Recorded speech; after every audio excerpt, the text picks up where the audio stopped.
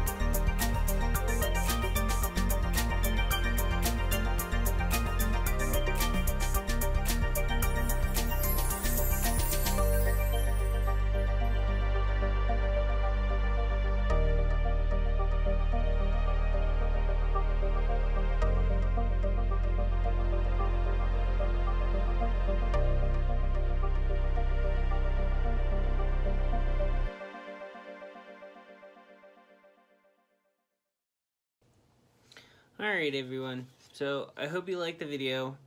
Um, I'm gonna try not to talk too much longer, but just wanted to show you this one last time. Really happy. Uh, I miss doing concept art a lot. Um, so, and I haven't drawn these characters in a very long time, so it it definitely definitely needed to be this week that I worked on them. Um, anyway, thank you very much. You guys have a great rest of your night. If you like this video, give it a thumbs up. If you want to see more content, give me a subscribe and remind yourself to hit that little bell if you want to see more content first. All right. Talk to you later.